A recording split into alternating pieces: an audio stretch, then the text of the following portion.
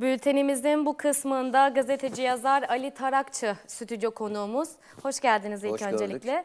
Ee, dün e, Türkiye Büyük Millet Meclisi'nde Türkiye ile Libya arasında e, imzalanan e, tezkere hakkında e, oylama yapıldı. 325 oyla kabul edildi.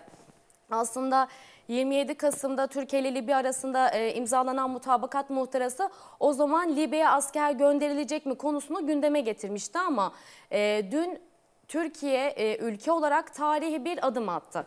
Bu adım sizce doğru mu? Libya tezkeresi nedir? E, asker gönderilecek ama e, kiminle savaşacak Mehmetçik? Bir kere doğru buluyorum önce onu söyleyeyim.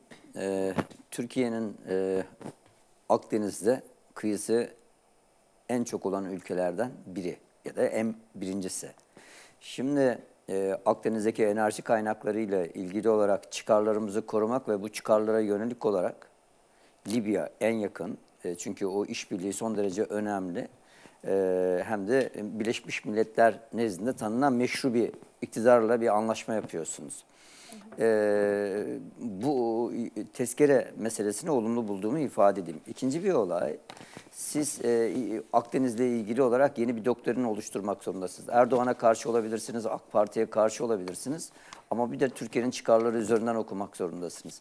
Ya e, kıyılarınıza hapsolacaksınız ya da e, o sınırlarınızın gereği olarak Akdeniz'deki haklarınızı koruyacaksınız. Düşünün şimdi e, şeyde e, bu özellikle geçen hafta e, İsrail e, şeyde Avrupa'ya gaz taşıyacak 1900 kilometrelik bir boru hattı anlaşması imzaladı. Yunanistan'ın da dahil olduğu.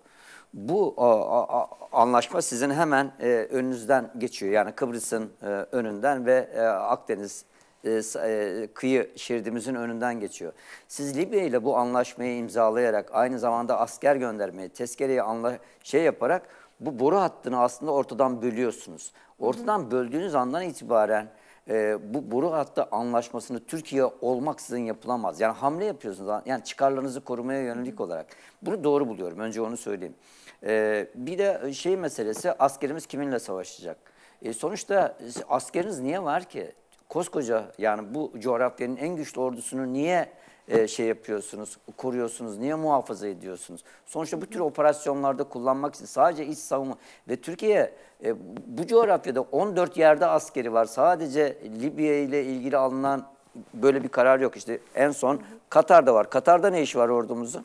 Yani sonuçta buralardan bakmayı doğru bulmadığımı bir kez daha ifade edeyim. Ve e, bir de şöyle düşünün. Mesela e, şey e, e, 90'lı e, yıllarda Suriye ile o zaman Esad baba Esad dönemiydi. E, Öcalan meselesinde bir sorun yaşandı. Biz o zaman da askeri olarak bir güç kullanmaya yönelik Ne yani, sorunu yaşanmıştı zaman? Öcalan'ın e, Suriye'den teslim edilmesiyle ilgili olarak e, Suriye'ye yönelik e, gerçekten askeri güç kullanacağımız e, konulunca e, Öcalan gönderildi biliyor. Hatırlarsınız. Daha sonra 99'da farklı boyutta teslim edildi. E, yine Kardak meselesini hatırlayın. Kardak meselesine Yunanistan adacığın bir tanesine, Kardak adalarının birine asker çıkarmıştı. Siz de çıkardınız. E çıkarınca ne oldu? E, barışçıl bir şekilde halledildi. Yani bazen bu askeri hamleler yaparsınız. İlla da bir askeri hamle savaş anlamına gelmiyor. Yani o silahlı kuvvetlerinizi, o gücünüzü nerede kullanacaksınız? Böyle yerlerde kullanacaksınız. Tuhaf görmemek gerekiyor. Yani ve yine bu şey Akdeniz meselesi üzerinden bakınca aslında biz İsrail'le, Mısır'la, Suriye'yle, Suudi Arabistan'la ilişkilerimizi de yeniden düzenlemek zorundayız. Yani e, ülkelerin e, dostlukları ve düşmanlıkları değişir ama bu düşman sürekli düşmanlık üzerinden de okuyamazsınız. Çıkarlarımız vardır. Bu çıkarların üzerinden okuyacaksınız ve Türkiye'nin çıkarları Akdeniz'de Libya ile anlaşma için bence cuk oturuyor. Doğru bir anlaşmadır. Yapılan anlaşma da doğrudur. Tezkere kararı da doğrudur. Ne gibi Türkiye olarak ne gibi çıkarlarımız var deniz yetki alanlarının sınırlandırılmasında? E, şey- çok açık. Siz Akdeniz'de e, şey Akdeniz'de o enerji yataklarının olduğu yerde Libya ile Şu anda Türkiye'ye yeterince pay verilmiyor mu peki sınırda? işte Libya ile anlaşma yaparak payınızı yükseltiyorsunuz ve pazarlık payınızı arttırıyorsunuz. Sorun bu tezkere meselesini pazarlık üzerinden bakmak gerekiyor.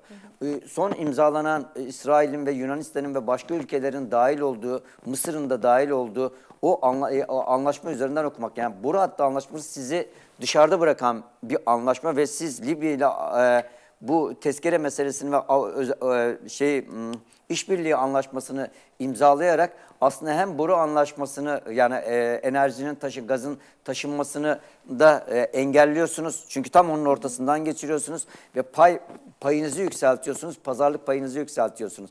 Buradaki tezkereyi de e, e, Libya ile yapılan anlaşmayı da enerji kaynakları üzerindeki pazarlık üzerinden okumak gerekiyor. Peki Libya'ya asker e, gönderilecek ama e, tabii ki de şu anda belli değil ne zaman ve nasıl gönderileceği e, yetkililer tarafından bu belirlenecek önümüzdeki günlerde ama e, Mehmetçik orada kiminle savaşacak? Valla illa da savaşmak olarak bakmayın mesele. Sonuçta orada bir iktidar var. Bu iktidar meşru bir iktidar.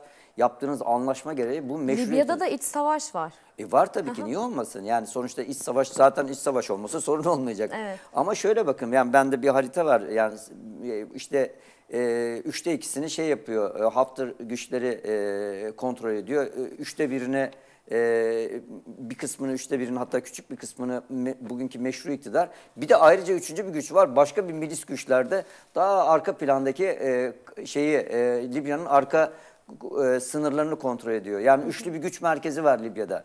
E, sorun da şu, e, tabii ki dengeler üzerinden gitmek gerekiyor. Ama sizin bugün Akdeniz'deki çıkarlarınızı koruyabilmeniz için Hafter üzerinden yapamazsınız bu anlaşmayı. Bu anlaşmayı otomatikmen bugünkü e, Libya'nın yasal meşru iktidarıyla yaparsınız bu anlaşmayı ve yapılan anlaşma demin dediğim gibi Akdeniz'deki çıkarlarımızın korunması açısından gelecekte payımızın arttırılması anlamında ve masada olmak açısından son derece olumlu. Halife Hafter e, 2011'den bu yana e, Trablus'u ele geçirmek istiyor. Bu görüşü e, nasıl E, karşılıyorsunuz? Trablus'u ele geçirmeye çalışıyor ama meşru iktidarda da anlaşmaları var. Bir kere oradan görmek gerekiyor. Anlaşma yapıldı. Bu anlaşma açık.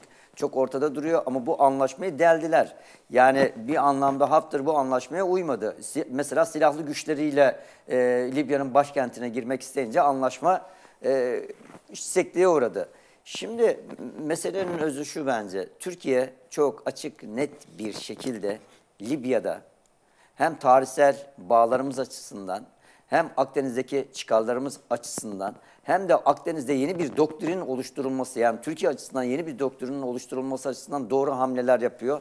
Burada iktidar karşıtı olabilirsiniz ama iktidar karşıtı olmanın yanında doğru hamleyi de doğru okumak gerekiyor ve Türkiye'nin çıkarlarını sadece iktidara yönelik bir muhalefet üzerinden değil Türkiye'nin çıkarları üzerinden okumak gerekiyor. E, Dün e, Türkiye Büyük Millet Meclisi'nde e, Libya tezkeresi onaylandı. E, meclis adeta ikiye bölündü. Evetçiler bir de hayırcılar olarak. E, evetçiler ve hayırcıları nasıl yorumlarsınız?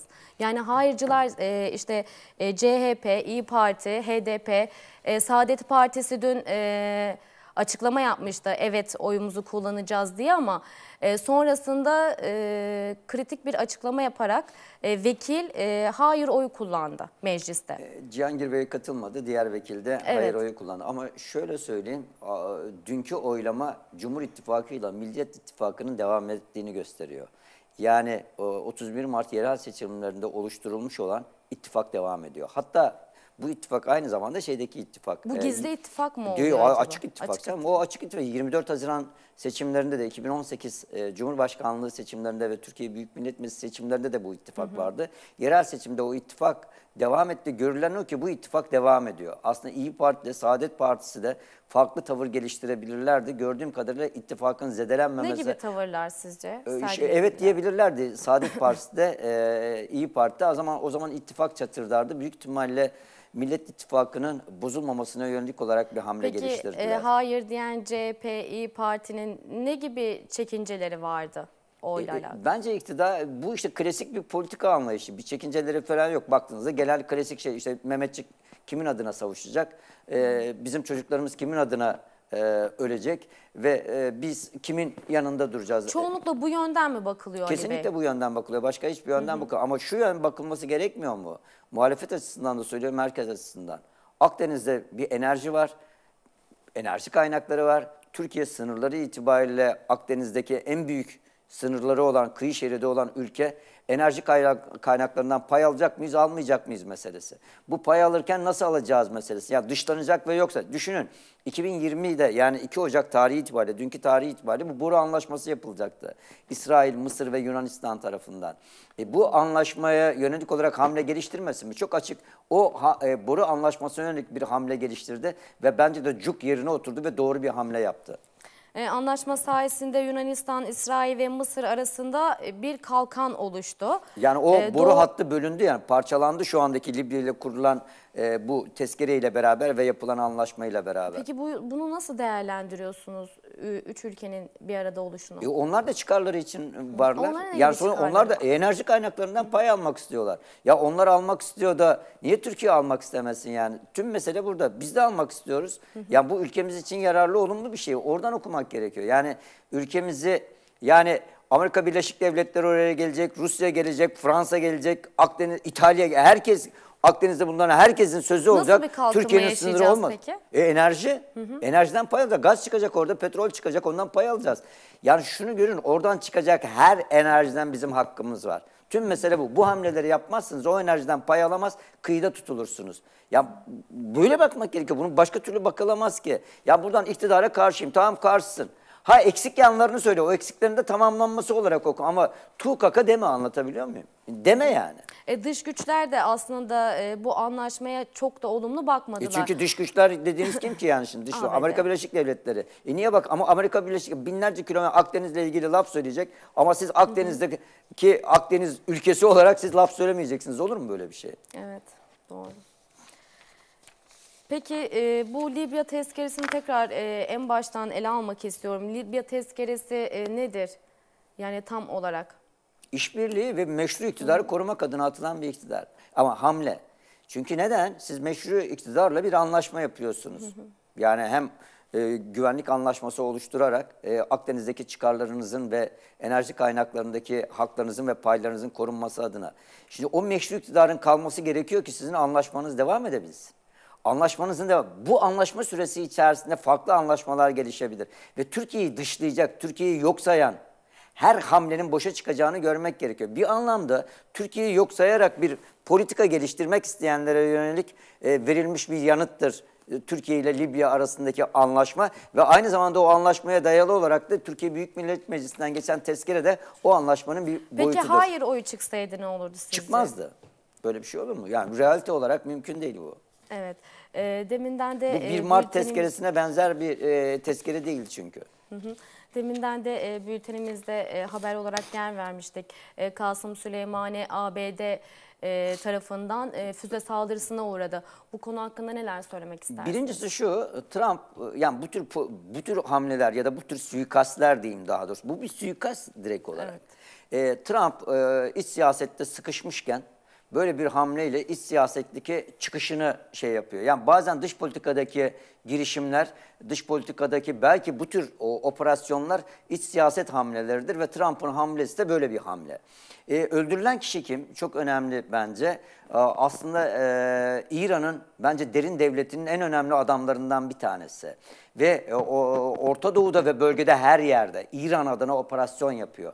Ve e, Suriye'de var, Irak'ta var, başka bölgelerde var. Bir anlamda e, Küba'nın ya da Latin Amerika'nın Chico arası gibi bir adam bu. Ya da daha İngiltere'nin James Bond diye ifade edebileceğimiz ajanı gibi bir adam. Ve e, görüyoruz hem Irak'ta hem İran'da, İran'da üç günlük yas ilan edildi. Ben e, şeyin Kasım Süleymaniye'nin öldürülmesini e, coğrafyamız açısından çok önemli gelişmelere neden olacağını düşünüyorum. Ama aynı zamanda Türkiye için de olumlu olduğunu düşünüyorum. Neden? Çünkü ne- nedeni şuradan dolayı. Eğer Amerika Birleşik Devletleri İran'a bu İran'a yönelik yapılmış bir operasyondur. Şimdi Aynı zamanda Irak'ta size. Irak'ta Irak- Irak'ta konsolosluğun e, e, işgal yani İran yanlısı e, hareketler tarafından işgal edilmesine yönelik olarak bir operasyondur. E, ya bu hem Suriye'deki politikayı değiştirebilecek hem Akdeniz'deki politikaları değiştirecek bir şey. Neden? E, Amerika İran'a yönelik bir operasyon yap- yapıyorsa Türkiye'siz yapamaz. Yani Türkiye ile ilgili ilişkilerini daha güçlendirecektir. Türkiye ile ilişkilerini yani oluşturacağı yeni Bu politikada saldırıda vermek istediği mesaj bu muydu? İran'ın bir mesaj ama aynı zamanda da bu Türkiye'nin çıkarına olan bir mesaj. Yani bölgede İran'ın gücünün sınırlanması demek Türkiye'nin etkinliğinin artması demektir. İran'a yönelik İran çünkü aynı zamanda yani ta 1979 İran devriminden itibaren e, Orta Doğu'nun her yerinde e, devrim iracı yapmaya çalışıyor ve bunu her yerde de uyguluyor.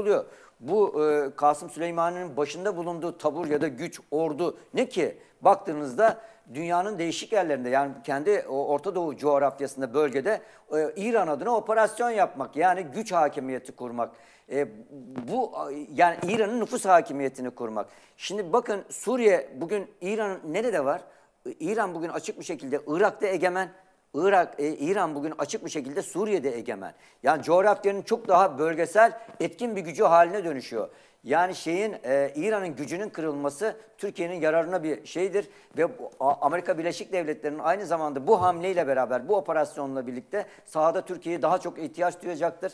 E, bence önümüzdeki dönemde hem Akdeniz açısından söylüyorum hem Libya açısından söylüyorum Türkiye için olumluluktur. Türkiye'nin kurduğu ya da e, kurduğu oyun ya da geliştirdiği doktrine katkıdır.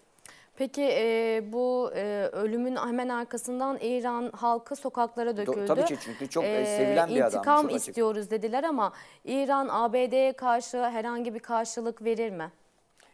Ben çok e, büyük bir karşılık verebileceğini düşünmüyorum. Önce onu söyleyeyim. Yani İran'ın hem kendi bugünkü geldiği nokta çok, çok uzun yıllardır uygulanan ambargodan dolayı bunu yapabilecek bir düzeyde olduğunu düşünmüyorum. Önce onu söyleyeyim. Bunu yapamayacaktır ama aynı zamanda da gaz alması gerekir. Bu gaza yönelik olarak ne geliştirebilir ki? En fazla e, Orta Doğu'da kimi Amerikan birliklerine yönelik, bu Irak açısından hemen söyleyeyim. Onlara yönelik e, şey e, intihar eylemleri gerçekleştirebilir. Direkt İran merkezli olmaz. Savaşa Ama dönüşür mü? İran'ın yok hayır dönüşmez.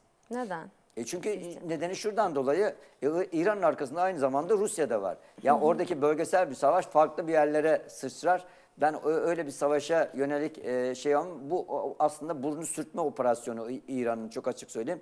Dem, baştan da söyledim Trump'ın Amerikan iç siyasetindeki çıkış hamlesi.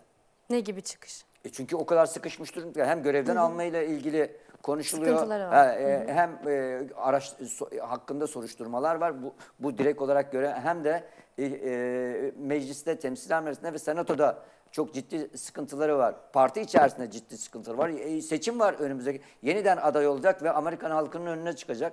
O açıdan bunu ben iç siyaset hamlesi olarak değerlendiriyorum. Yani kendi durumunu güçlendirmeye yönelik bir girişim. Peki son olarak e, Libya tezkeresi bir de e, Kasım Süleymani hakkında neler söylemek isterseniz kısaca bir toparlarsak. E, Ben tezkereyi olumlu bulduğumu ifade ettim. Ee, bir kere yani e, Amerika Birleşik Devletleri'nin bu operasyonu yani savunulacak savunulabilecek bir yanı yok ama kendi açısından bakınca şunu yapıyor. Konsolosluğa yönelik olarak e, İran'ın aslında İran nüfusunun ya da İran'ı destekleyen ya da İran'ın desteklediği yapıların e, konsolosluğa yönelik olarak bir işgal girişimi söz konusu. Buna yönelik olarak verilmiş bir yanıt olarak görüyorum. Aynı zamanda Irak hükümetine yönelik verilmiş bir yanıt olarak görüyorum şeyin e, e, Kasım Süleymaniye'nin öldürülmesini, e, suikastini Irak hükümetine de haddinizi bilin e, yönelik ya da ayar veriyor aslında direkt olarak. E, te- yani Türkiye'nin çıkarları üzerinden okumayı ben iktidarın e, bugünkü politikalarını yanlış buluyorum, eksik buluyorum, kötü buluyorum. Ama doğru yaptığı bir şey de bu özellikle Libya e, ile yapılan anlaşma açısından hem tezkere açısından da olumlu buluyor ve doğru değerlendiriyorum.